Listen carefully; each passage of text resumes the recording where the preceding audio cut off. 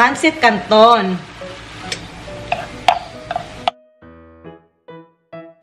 Oops, wow. Mm. Ang dami palang noodles dito. Dalawang pansit canton kasi bitin ang isa. Itabi lang ang seasoning. Lutuin natin sa kumukulong tubig. Lain po sa bugno na tubig, di ba? Siyempre sa kumukulo talaga. Hahay des. Ito half cook, okay na. E-set aside. Gawin na natin ang sauce. Yung powder. Yung toyo at mantika.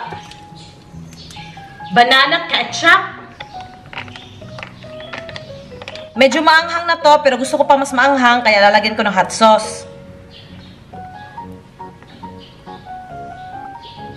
Konting asukal at paminta. Haluin. Painit ang kawali. Sorry. Pork belly. Lutuin lang natin hanggang maging crispy. Yan, oh.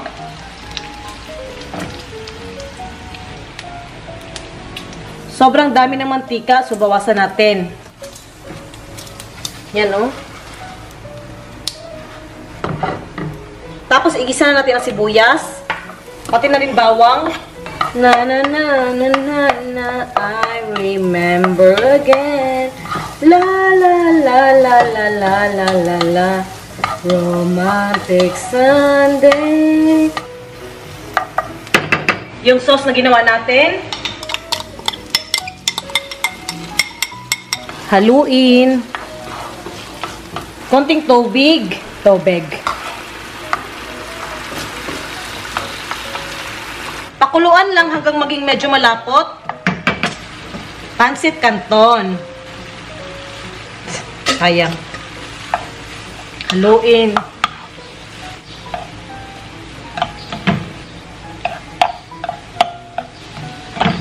Tapos itlog. Dalawahin natin kasi dalawa yung pansit canton. Takpan hanggang maluto yung itlog. Na na na na na na na na na. Romantic Sunday. Oops, wow. Ha, ang sarap. Yan na guys. Oh, subukan na natin to. Pansit canton level up. Ha. Mm.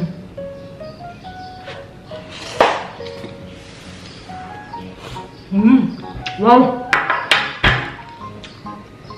Sarap. Mas naging savory siya at mas maanghang. Mm. Gusto ko yung malasalo na itlog eh, sa pancit canton.